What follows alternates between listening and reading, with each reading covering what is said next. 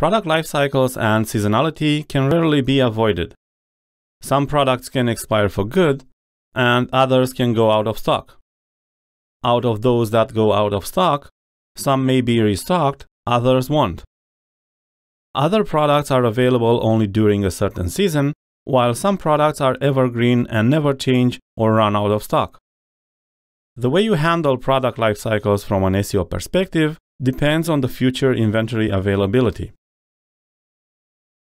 There is no definitive correct way to handle product life cycles, but generally try to avoid removing out of stock items URLs until you know if the product comes back in stock or not. If you remove URLs, they will return a 404 header response. 404 pages are taken out of the index after a while, and you might lose some possible backlinks. If you need to return a 404 page, then at least create a custom page that will help reduce bounce rates. Also, avoid serving soft 404s, which are basically light content pages responding with 200 OK response code but their content says just sorry, item is no longer available or something similar. Do not 301 redirect every out of stock PDP to the home page or to their parent category page. Since the home page is unrelated to the out of stock product, 301 redirecting a PDP will be treated as a soft 404 and this will not preserve indexing signals. Use meta expiry if your items are not available after a certain date. Classified ads can be marked up with this tag. In this screenshot, you can see how the server responds with 200 OK for a dummy URL request. There are instances when this kind of setup makes sense. For example, when you want a PDP to load properly with only a product ID present in the URL, even if there are broken parameters and values in that URL. In this case, you need to include a rel canonical to the representative PDP URL. Let's see how you can handle discontinued products. These are products that have reached the end of their life cycles.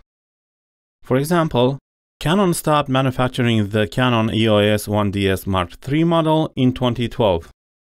Sometimes end-of-life cycle products are replaced with a newer model, but other times they are discontinued for good.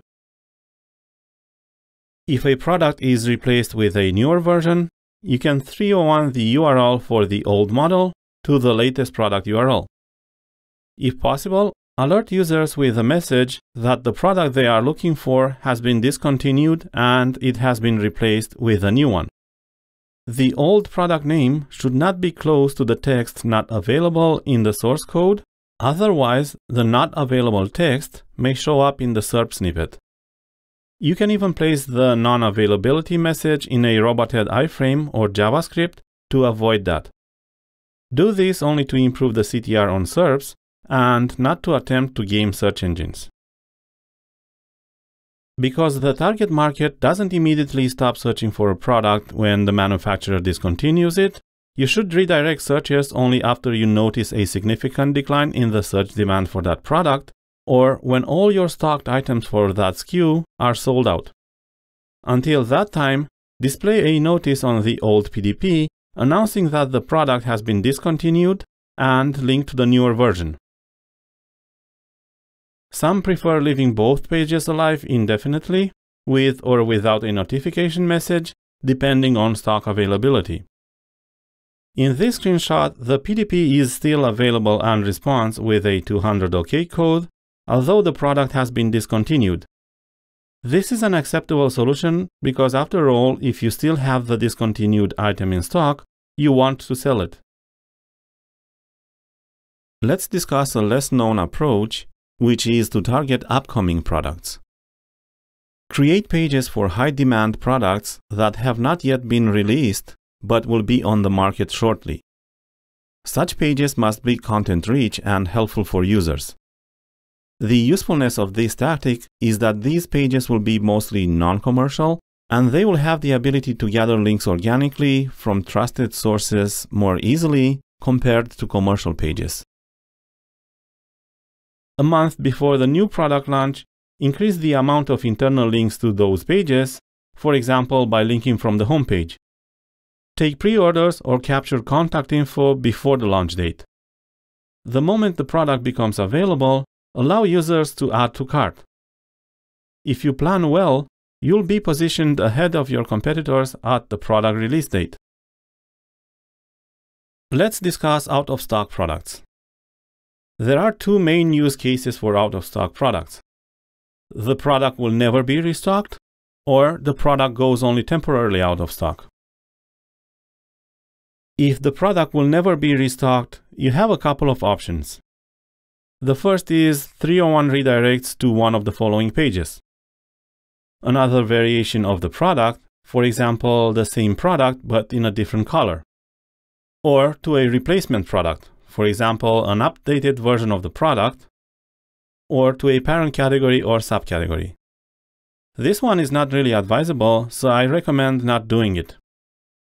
The second option is to leave the PDP page return 404. You will do this only if you can't implement the first option. The third option is to leave the PDP alive and return a 200 OK response code. In this case, it is very important to display a clearly visible notice communicating the reason for unavailability. It's also important to guide users to a replacement or to a similar product. Optionally, the Add to Cart button can be changed to out of stock and deactivated so that users can't add the item to cart. To minimize the effects on conversion rate on permanent out of stock PDPs, offer related items in a very accessible spot on the page. If the product goes temporarily out of stock, the page should return a 200 OK response and let customers know that the product is currently out of stock. It should also provide users an estimated availability date if that's possible. Eventually, you should offer an incentive to compensate for the inconvenience and to collect their email address to announce the relaunch of the product. Additionally, make sure users can backorder the product. In this image, you see that the temporarily out of stock messaging is easy to spot and it's clear. However, it would be better to have it separated from the product name. If all the products under a subcategory are out of stock, and the PDPs received qualified traffic in the past, 301 redirect to the parent category. The subcategory page will redirect to the parent category since it doesn't have any stocked products. This may not be the best approach from an user experience perspective, but you may want to preserve eventual backlinks pointing to the PDPs and to the subcategory page. Keep in mind that shoppers may become frustrated if too much of your inventory is out of stock. In this case, mark up the affected pages with no index and remove them from navigation until your inventory improves. This helps addressing content quality and Panda penalties. Here are some additional recommendations for handling out-of-stock products. Google treats expired products as soft 404 errors. This means that out-of-stock pages are considered low quality and in many cases such pages should be no indexed. Google's official recommendation is to remove out-of-stock pages from their index by returning a hard 404 page not found header response. However, this approach doesn't work well for UX and conversion. Out-of-stock SKUs should not be presented anywhere in the site navigation However, they can appear on internal site search results pages when someone queries the SKU number or the SKU name. Out-of-stock URLs should be accessible for type-in traffic or email to assist those who have questions about a product they purchased in the past and is now out of stock. Out-of-stock products should be accessible for the sales team on your intranet. Neither 404s on discontinued or long-term out-of-stock product URLs, which is what many times Google recommends, nor 301 or 302 header redirects provide the most optimal user experience. Google says don't 301 or 302 to a parent category or homepage, and this is the correct thinking. I believe there is a better approach for user experience and SEO. Instead of a useful 404 page, show the out of stock page only to users landing from outside your website, for example, coming from organic traffic or from a referring source. On this page, display a modal window with a very short and clear message about the product status. Offer one link to the out of stock product and the other link to the related or replacement product. Be careful about the size of the modal window for mobile. It should cover maximum 20% of the screen size and it should be placed at the bottom of the screen. The messaging on the modal window can be similar to this. Sorry, this product is out of stock. Do you wish to visit the out of stock product or navigate to the replacement product? The modal window displays a 10 seconds countdown timer. 10 seconds should be enough for most people to read the message. At zero, the user is redirected to the most appropriate page. The redirect is done with either JavaScript, which seems to be passing SEO signals along, or with the meta refresh tag. If you want to pass authority from the old to the new page, the JavaScript timer and the meta refresh have to be under 5 seconds. Let's see how you can handle seasonal products. If the product is seasonal, handle it in a similar way to out-of-stock items. If it will return the next season, leave the page in place, notify the users, and remove the ability to place orders. If it won't return, then 301 redirect to another variation of the product, for example, the same product but in a different color, or redirect to a replacement product. Seasonal products, just like event and holiday URLs, require some attention in regards to URL naming and maintenance. For example, if you use years in the URL, it's like starting over again when you update the URL next year. Of course, you could do a 301 redirect from the previous year's URL to the current one, but it's better to avoid using URLs that designate a year or other time indicator. Instead, use a generic URL that can accommodate new dates or models in existing URLs.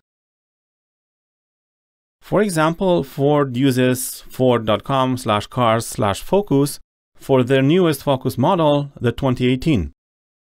Toyota uses toyota.com slash Corolla for all Corolla models, no matter the release year, as you can see in this screenshot. This URL naming convention consolidates links to a single page year after year.